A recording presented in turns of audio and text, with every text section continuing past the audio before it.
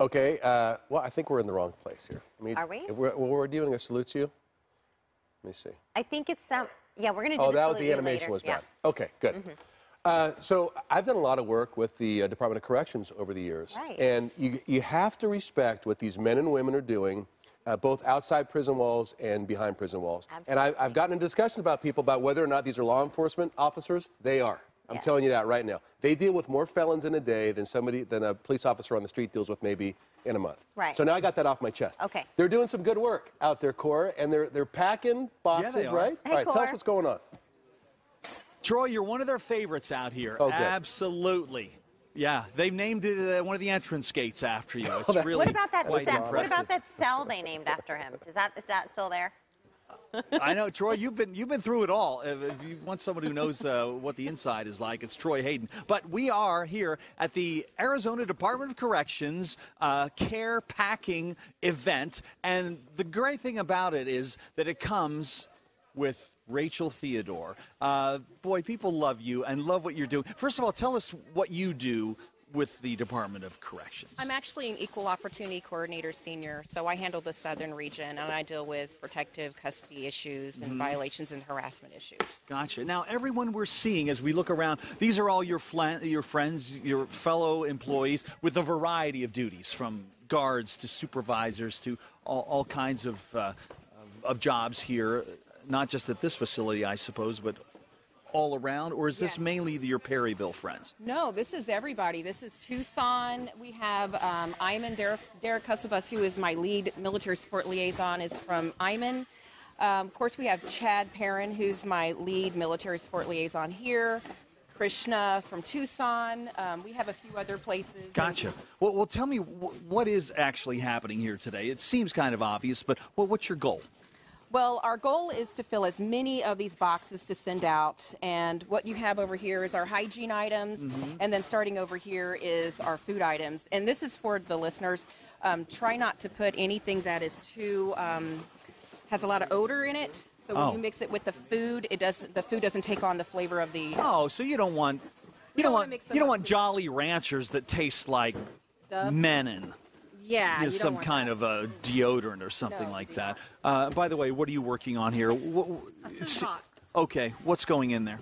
So I have uh, chips and some hard candies, some Gotcha. uh, Raisins, Raisins. sunflower seeds, cookies. cookies. My gosh, this is fantastic. Yeah, I wouldn't mind getting a box stuff. like this. Yeah, very good. Well, next time we get together, we're going to meet uh, uh, Margie Bond, and she is uh, a woman that we're all familiar with. She's been on our show many times, but um, she is sort of the point of the spear, so to speak, in getting these boxes overseas to the men and women who are going to enjoy the fruits of uh, all of the hard work here at Perryville. So more coming your way, uh, Troy and Celeste, in just a couple of minutes. That's Man, these cool. I'm in love with these wintergreen jobs. What are they? Yeah. Yeah. The little, oh, the individually The- the wrapped mint. wintergreens. You're a huge Yeah, mint yeah, guy. they're fantastic. And Tic Tacs. I know. Love my mints. I like to have a. F- look, I like my breath to be fresh. Just try me. Oh, jeez. See? It never fails. People You through that. never know what It's the a point of pride for me.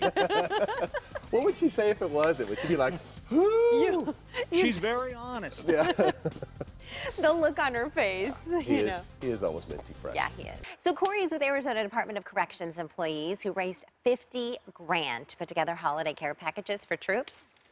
What a cool deal. Hey, Yeah. Cor.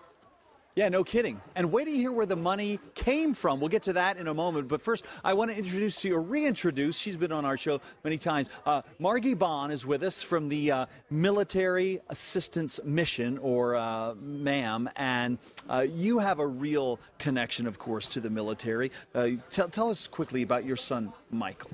My son Michael volunteered to go to Iraq in 2005, and then we lost him. And the idea is to continue supporting the brothers and sisters that he served with. Yeah, and they're they're still good friends of yours. I know his brothers and sisters, They, right? they are. They text me on Mother's Day. That's when I was told of his loss. So they'll text me, say hi, mom, and they'll just always keep in touch and just check in and stuff. So it's really great because it's been a few years and they're still his brothers. Yeah. Well, you of all people then know what it means. Uh, let's walk a bit to to receive news from home, to receive a package from home, so to speak. And you've got some great friends out here at the Department of Corrections helping out in that area. First of all, where are these packages going to end up? Do you, do you know ahead of time? Yes, we have addresses. They're going to Kabul, um, um, Djibouti, Africa, uh, Korea, Iraq, and um, uh, Afghanistan, which I believe is where Kabul is. Really, all over the place. All over the place. Now, I understand uh, about forty or fifty thousand dollars was raised to get these uh, Yes. materials together. Yes, that will include uh, the shipping of the packages and um, all of the supplies that go with it. Mm-hmm.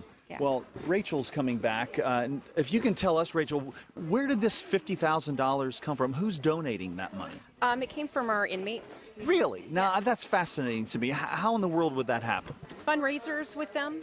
So we have them all around the state, and all the facilities have these. And the inmates, they go, okay, it's for MAMS or for our military, and they're very generous. Boy, uh, that's really terrific. Uh, well, thank you to to all uh, of the inmates who who donated. Um, now, as we wrap things up, and pardon the pun on that, um, I'd like to. We got a real hot shot here, Troy and Celeste. Oh, look, you're looking at her right now. Her name's Maria. Um, Oh, okay. Hi, Maria. She's in she's in the taping business.